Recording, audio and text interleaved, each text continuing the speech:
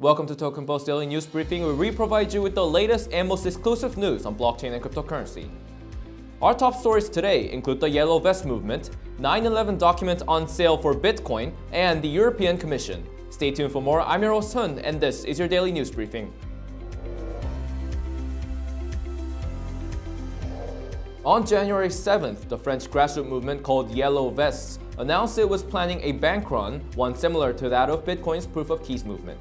Identified as the so-called collectors referendum, the movement calls on supporters of the movement to withdraw all of their deposited cash from financial institutions this coming Saturday.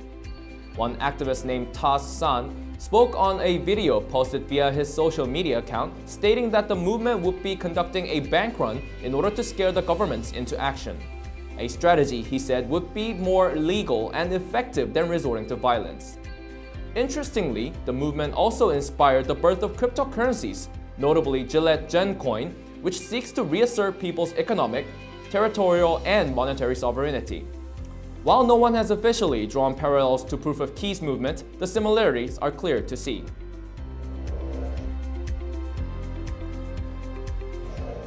A report posted on Medium by Slowmist, a blockchain-dedicated security firm, confirms that the recent 51% attack on the Ethereum Classics blockchain was malicious in its intent.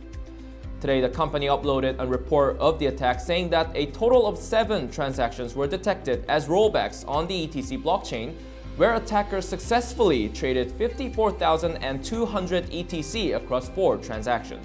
Slowmist tracked the attacker's account all the way back to its origin, revealing that the first attack took place on January 6th. One attacker moved a large amount of ETC from Binance's exchange wallet to another account, and 4,000 ETC was subsequently transferred to the attacker's Bitrue wallet. Following the first attack, the same attacker used similar methods to make another attack, this time for 9,000 ETC. The report confirmed that the double spend they found through their research was consistent with the information posted on the blog of Coinbase. The public awaits further comment from the ETC community as there have been no official releases. Last week, so-called Dark Overlord hacker group caught the attention of the public when they released one of three batches of documents about 9-11 secrets in exchange for the equivalent of 12,000 US dollars in Bitcoin. And just hours ago, the same group released a second batch containing 7,600 files related to the 9-11 incident. So far, the released documents contain no major evidence to cover up conspiracies revolving around 9-11. The files merely disclose insurance documents related to the damage claims. While the exact amount of Bitcoin received for the second batch of documents was not revealed, the hacker group has so far stayed true its slogan Cyber Cash for Cyber Cash. The Venezuelan government has entered into dispute with the United States on Petro the Venezuelan government-issued cryptocurrency.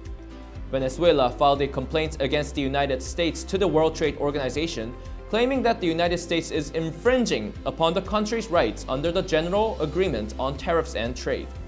Venezuela stated that sanctions imposed by the United States on its product as well as its digital currency are discriminatory coercive trade restrictive measures.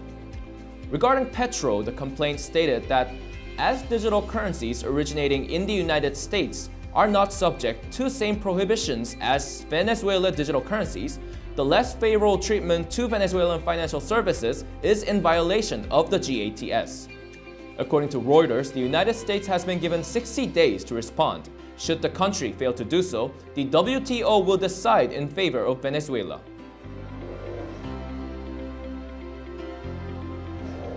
The European Banking Authority, or EBA, has requested the European Commission to come up with new regulations for cryptocurrencies. The EBA defines crypto assets as a type of private asset based on cryptography and distributed ledger technology. While the European crypto asset is not very active, the EBA is concerned that there is a lack of regulation for crypto assets, which currently falls outside the scope of EU financial services regulation. Moreover, the EBA stated that services related to crypto asset custodian wallet provision and trading platforms are not well accounted for when it comes to legal compliance.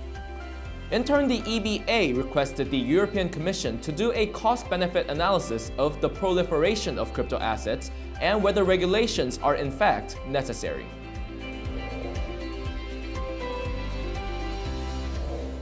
Bringing the latest news to you, I'm your host Hun with the Token Post Daily News Briefing. Thanks for watching.